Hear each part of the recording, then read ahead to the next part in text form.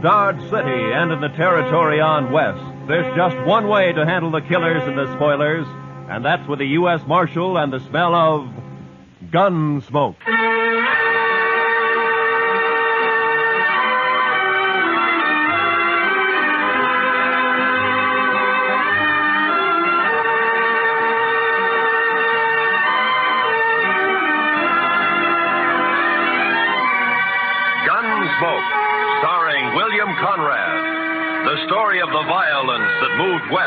Young America.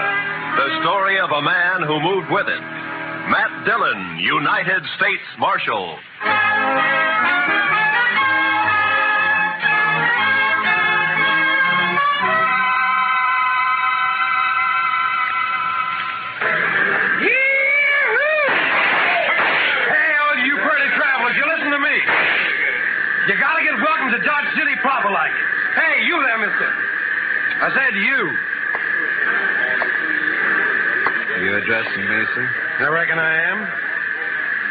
Preacher? Not exactly. You dress like a preacher. If you'll excuse me. Back up, fancy pants. You ain't no preacher. I figure on making you dance some for the folks. You think you can hoorah me? Dude, I said dance. Dance or the next shot will take off one of your toes. I don't think I'd like that. Doc, no. All right, Thorne, put up the gun. Marshal, you got a wild and woolly town here. Marshal, you move aside. I'm gonna make this grinning dude kick up his heels for us. I'd say that might be quite a trick, Thorne. Unless he's changed a lot since I last met him. Have you, Doc? Not for the good, Matt. I was afraid. You pasty-faced tenderfoot. I said for Shut you. up, Thorne. He's drunk, Doc. He's dead. You just don't know it yet. I'll take it good if you'd meet me later at my office. All right, Matt. To you. Well, that's sure a lot of talk. Now I'm gonna shoot that dude's boot heels. Fire one shot and I'll pistol whip you, Thorne. What's that? You're kind of forgetting who's holding a gun, ain't you? I wasn't forgetting. Oh, my wrist. You broke my wrist. I doubt it. Now let's go to jail. Oh, you can't put me in jail. I'm Thorne Finley. Move. Oh, you wait till I tell Big Jack about this, and I will, too. Do that. He might be grateful to me for saving your neck. You pulled some fool stunts, Thorne, but you've never been closer to dying than just a minute ago. You mean from that fancy pants?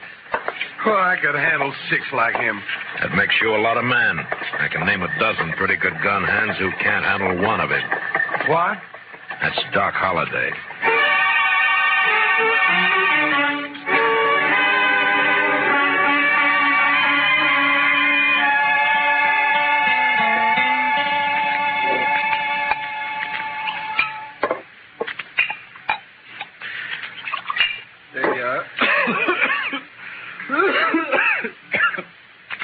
Salute, Matt. Salute, Doc.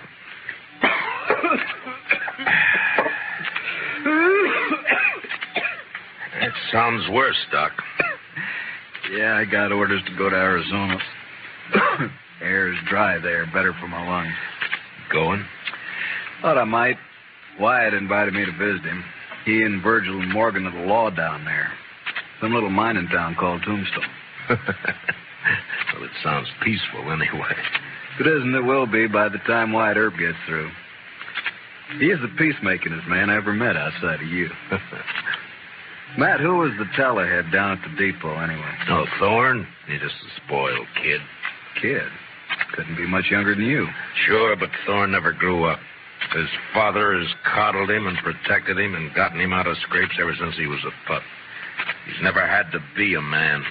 Not with Big Jack wet nursing him. Big Jack. Big Jack Finley. Oh, you know him? I've heard of him. Well, that figures. He owns about half of Kansas. Star in a box runs more cows than he can count. Swings a lot of weight in Dodge. Yeah, too much.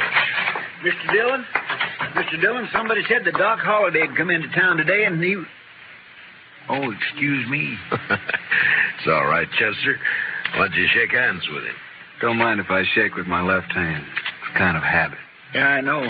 Mr. Dillon has the same habit. He would. How about dinner tonight, Matt? Sure, sure. How long will you be in Dodge? Not long.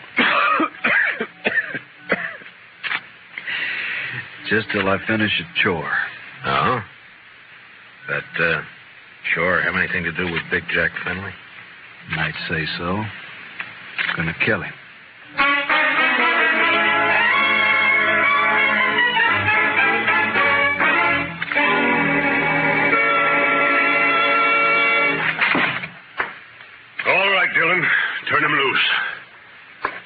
You, uh, forgot to close the door, Mr. Finley. You're going to turn my boy loose? I'm going to have to do it for you. You got a writ of habeas corpus? Rich? Thorne didn't commit no crime. Charges are drunken, disorderly, disturbing the peace, and attempted assault with a deadly weapon. I was. You still need a writ. But man, Judge Nathan does what I say, and you know it. Don't you think I can get a writ? I'm sure you can and will. You always do. Then what's the point, Dillon? It's just a lot of useless red tape. It's a law. Close the door on the way out.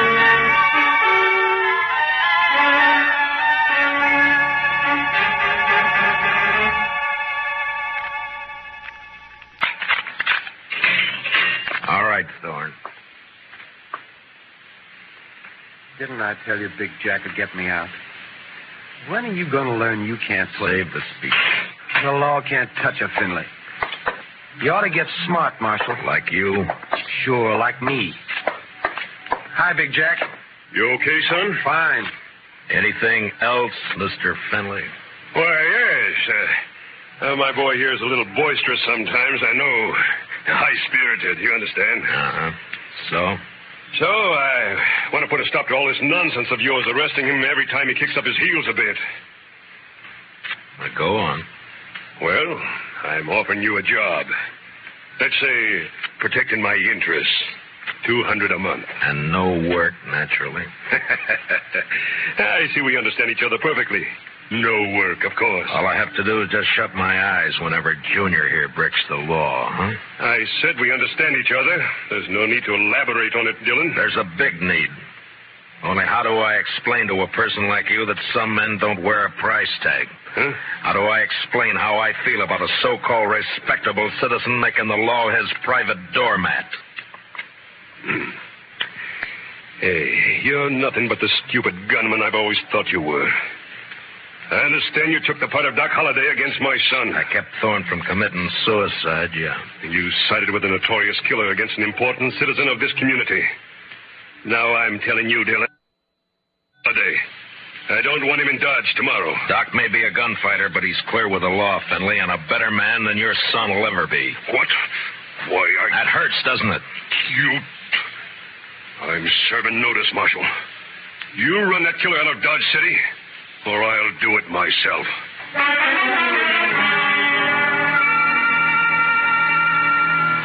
Big Jack Finley, cattleman and self-made king of southern Kansas.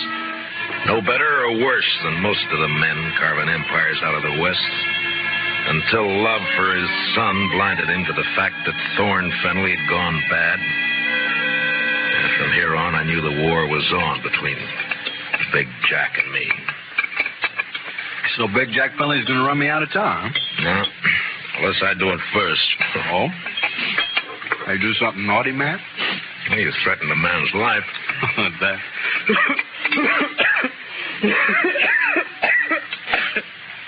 and just between friends, Matt. Anything else, Doc? Not murder. Murder. I give him an even break. Uh, with you, that's still murder. Uh, don't you think you better tell me about it? Mm-hmm. What if I don't tell you? Now, then my job's to warn Finley and try to protect him. You're a tough man to be friends with, Matt. It applies to you, too, doesn't it? Guess maybe it does at that. Didn't realize how I put you on the spot by spouting off my good intentions. Sorry. Ah, forget it, forget it. you want to talk to me? All right. Remember a girl named Ruth Davis? Mm-hmm. Died in a riding accident a few months ago. Always wondered if that wasn't suicide. She lost her brother two weeks before that. No accident. No suicide. You sure? Sure. You know, Ruth and her brother ran the ranch alone. Mm-hmm. A man started pestering Ruth, and she hated him. Her brother kicked the man off the ranch. This fella drygulched Ruth's brother, made it look like a robbery. You have any proof of this? Yeah. Ruth was afraid to go to the law, so she sent a letter to me. Here, read it yourself. She says the man was Finley and says she expects him to try and shut her up for good. Well, that doesn't mean it's Big Jack. I went to see Ruth's folks. They had her belongings. Among them, I found this. Hmm. Watch chain. Engraved JF on the clasp. Jack Finley. You see why I've got to kill him, Matt? He forced Ruth's horse over that cliff, sure. But do you still think she died accidental? No. But who's responsible is something for a court to decide. Court? With Finley's money and influence, he wouldn't spend five days in jail even if he was convicted, which he wouldn't be. He doesn't own the court. Maybe not, but it's still the most powerful man in the state against a dead girl whose only friend is Doc Holliday. How do you think a judge will decide? Doc, I'm going to ask you a favor. Make it one I can give. I got an idea, but uh, you must let me handle it my way. Give the law a chance. All right, Matt, I can wait. Thank you. I'll keep this letter in chain for a while. All right, but if the law fails, I'll brace Big Jack Finley when he walks out of the courthouse. And you'll be bracing two men, Doc. Finley and me.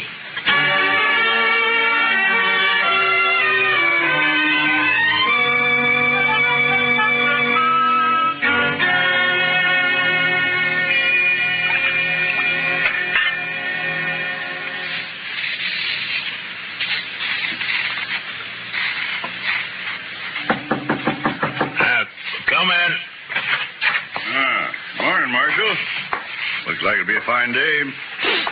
Well, you're up kind of early just to bring me a weather report, aren't you, Judge Nathan? Huh? Oh, well, I I want to see you. Now, go right ahead. You mind if I finish shaving? No, no, please do. Just thought I'd chat with you about the. Dr. Finley's? Uh-uh. Uh, yes. It seems that Big Jack's very upset by your attitude. I'm not surprised. Feels you're a little rough on his boy. I am. But then his boy's a little rough. Yeah. Well, perhaps Thorne is high spirited, like uh, yesterday. Yesterday he was just plain high. Tell me, Judge Nathan, how do you like being on Finley's payroll? Uh, what? You know, you used to be a pretty decent person. Oh, uh, you can't talk to me like Yes, I can. I'm sending a copy of Thorne's record to the governor. Governor.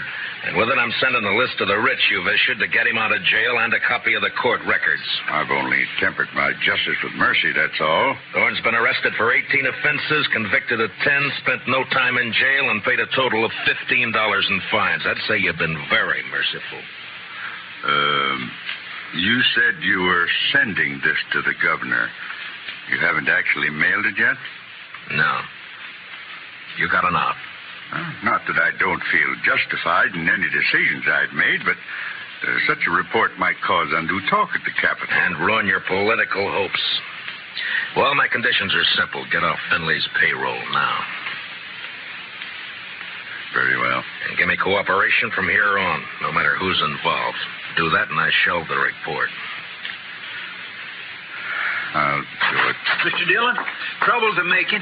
What kind of trouble, Chester? It's Big Jack Finley, Mr. Dillon. He's rounding up his crew at the Alfraganza.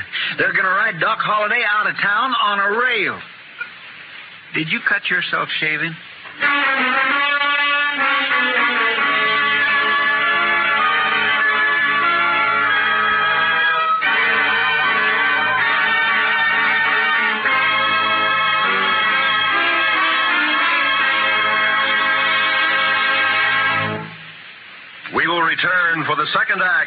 Of Gunsmoke in just a moment. But first, don't forget starting Monday, CBS Radio's tremendous news staff will start bringing you the complete coverage of the Democratic Convention in Chicago.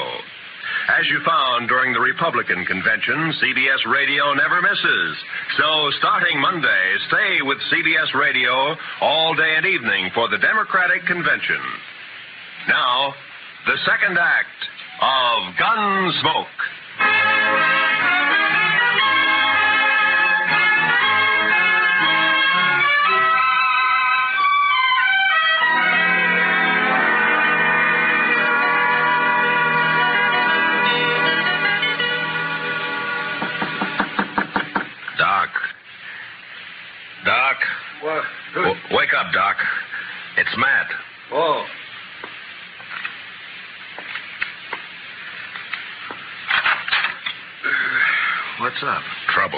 Of trouble. Big Jack Finley's organizing a little citizens committee of his own hand-picked men coming to escort you out of town. On a rail? Yeah, that's the general idea. Here, take a shotgun. Yeah, I'll hide it under the covers, modest like. I'll wait against the wall here. Good. That'll put 'em in a crossfire. If it comes to that. There's enough of 'em. We're in a spot. Yeah, likely we are. You're risking your neck to save me some bruises. One I owe you, friend Matt. It's my job. Still one I owe you. There he is. Wrap him up.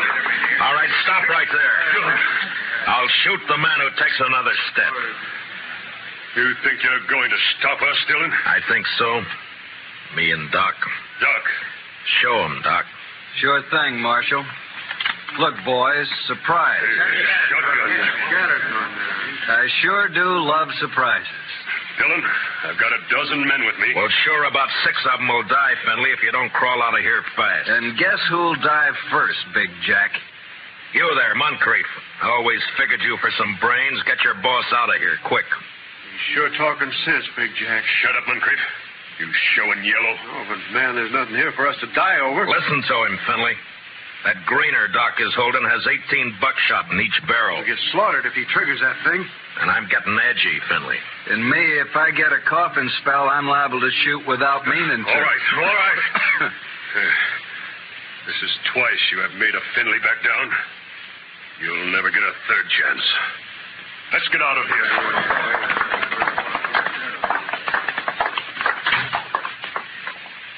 Matt, when are you gonna arrest him?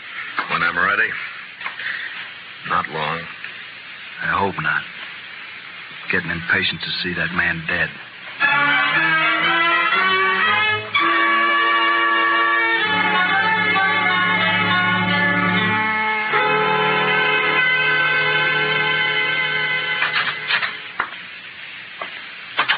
I uh, got your message, Marshal. I hope it's important. It is, Moncrief. How long you been foreman for Big Jack? Fifteen, sixteen years. You know him pretty well. Would he be the kind to kill a girl? No, of course not. Guess he'd kill a man if he got mad enough, but he wouldn't kill no girl, Marshal. Well, I have proof that he did. A girl and her brother, but it doesn't set right. I'm hoping you can help. What's your proof, Marshal? The letter that names Finley as the man. Ruth Davis wrote it before she died. Ruth Davis. And this watch chain was found with her belongings. It's engraved on the I know. I uh, was with Big Jack when he bought this chain in Chicago. It was right after his wife died. Big Jack wear it all the time? Hmm. You uh, rode the right hunch, Marshal.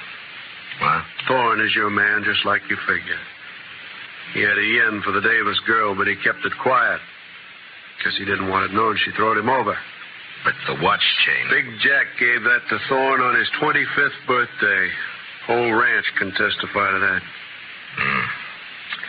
Good. All right, thank you, Moncrief. You, uh, gonna try and arrest Thorne? Why? If Big Jack believes Thorne killed that girl, it'll break his heart. Broke her neck. If he don't believe it, Then? he'll protect Thorne.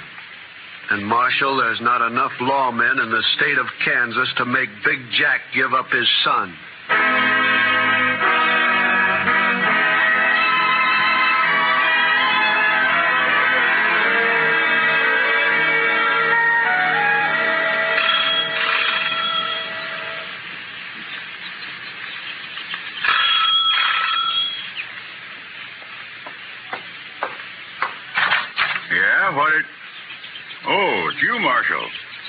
Uh, John Holliday. Doc, this is Judge Nathan. uh, Ho- Holliday. Oh, yes, I've heard of you. I've heard of you too, Judge. Wonder which has heard the worst. Uh, what's that? Uh, why, I, uh, Judge, I'm here on business. Oh, of course. Uh, come in, won't you? In my study here, so we won't be disturbed.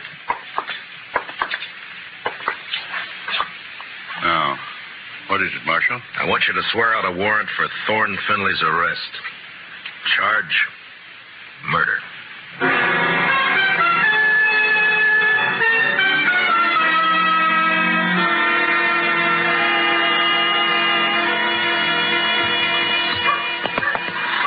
You sure you want to go with me, Doc? I'm sure.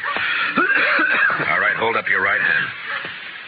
On no, Matt, you wouldn't make me a lawman. If you go, you go as my deputy. I'm not letting you make this a private fight. Yeah, but my friends, if they hear I wore a star.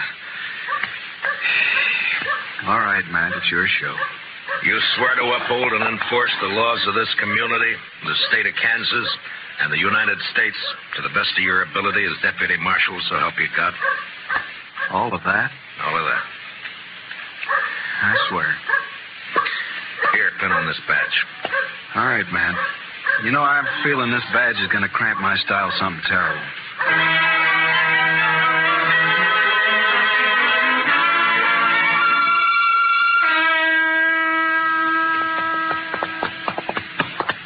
Better breathe our horses going up through this pass. We still got a good ride ahead. How far? Oh, about ten miles. Hmm?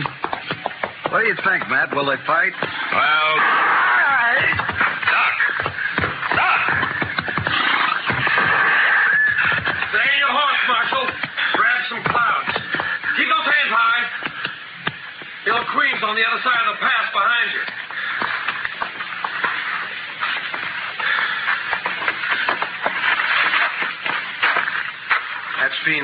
Dillon.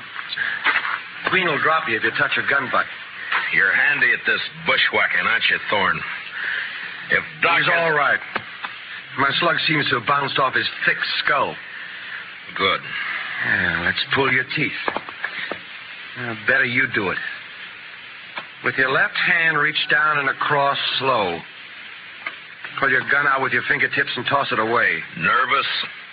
Just cautious. Or maybe this queen doesn't exist, huh, Thorne? Queen! Queen's one of Dad's men, but uh, I pay him extra to work for me. Any more questions? I guess not. There's my gun. The rifle next. I, uh. I got a penknife in my pants pocket. You know why Holliday came to Dodge? Yeah. Yeah, I guess you do. You wouldn't be riding with him. Well, he's not going to tell any stories to my dad or anyone else. Uh, you can't kill us, you stupid. Not planning on killing you. And what have you got planned? A queen's kind of a magician. He's going to make Holliday just disappear. Folks won't care much about one of his kind. I would. I'd care so much I'd hang you for it. No. No, with Holliday gone, it's your word against mine. And you won't be able to prove a thing, Dillon. You sure of that? I'm sure. Otherwise, I'd take care of you along with Holliday. Now get on and start walking back to town. It's like I told you. Law can't touch a Finley.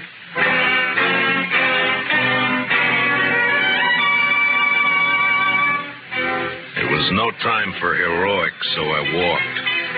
When I reached a turn, I cut back through the rocks, but it was too late. They were gone. And with them, the horses, guns, and Doc Holliday. Two miles up the road, I found my horse turned loose. And with a mind full of cold hate, I raced on to the star in a box. On the front porch of the ranch house was one of Big Jack's men.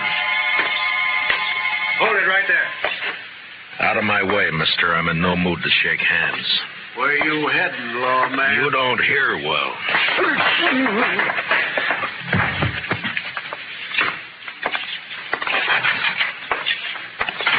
Dillon, Where's Holliday? how should I know? Get off my ranch. And where's that prize son of yours? What? Trot him out. I want him. Do you now? What on earth for? Thorne, put that gun away. Oh, no. This is just in case the marshal loses his temper. I've lost it, Junior. Sure. Dillon, I've had all I'm going to stand from you. You just think you have. Where's Holliday, Thorne? Where'd Queen take him? Holliday? Why, I haven't the faintest idea. Where is Queen, Dad? Uh, riding fence line, but what, See, Marshal, we don't know where your friend is. You're under arrest, Thorne. what's that? Ask him to show the warrant. Here. Read it, Finley. What? Oh, no. No, that, that, that's not possible. The judge wouldn't issue a warrant without proof. He has proof, Thorne. This is a lie. Thorne couldn't be guilty of murder. No. Take a look at his face. Son, Daddy's trying to frame me. Don't let him get away with this. No, I won't. I won't. Get out, Dillon. Man, open your eyes. This is not going to help You heard me. I don't believe you, your warrant, or your proof. I believe my son.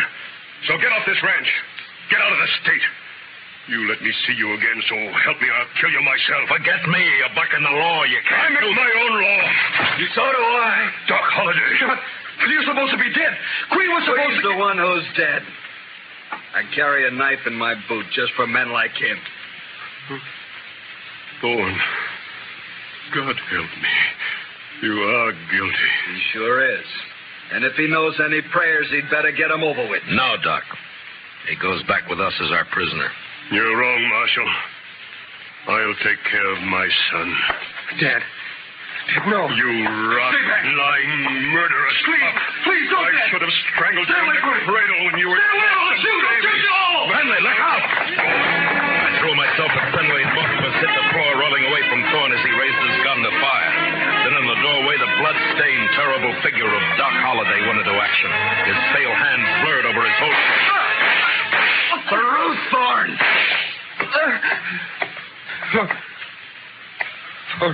Ruth? Stage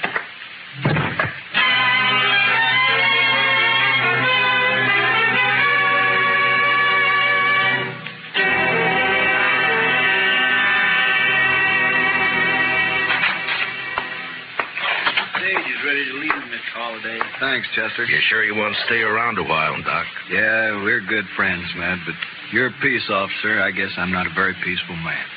You could be, Doc. no, I'm not going to change, and you shouldn't. Law needs men like you. No, if I stayed, there, there's too good a chance I might cross you. Yeah. Then I'd have to meet you over gun barrels, and it's one thing I'm afraid of. So long, Matt.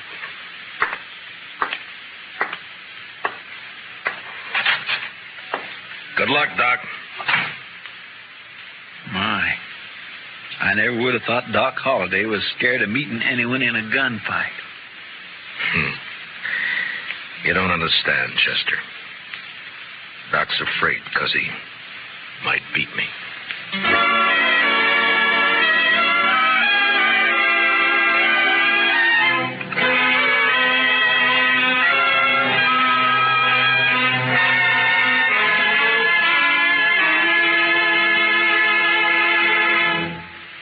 Gunsmoke, under the direction of Norman Macdonnell, stars William Conrad as Matt Dillon, U.S. Marshal. Tonight's story was specially written for Gunsmoke by Herb Purdum, with music composed and conducted by Rex Koury. Featured in our cast were Harry Bartell as Doc Holliday, with Lee Millar, Nestor Paiva, Ralph Moody, and Tom Tully. Parley Baer is Chester. Join us again next week as Matt Dillon, U.S. Marshal, fights to bring law and order out of the wild violence of the West in Gunsmoke.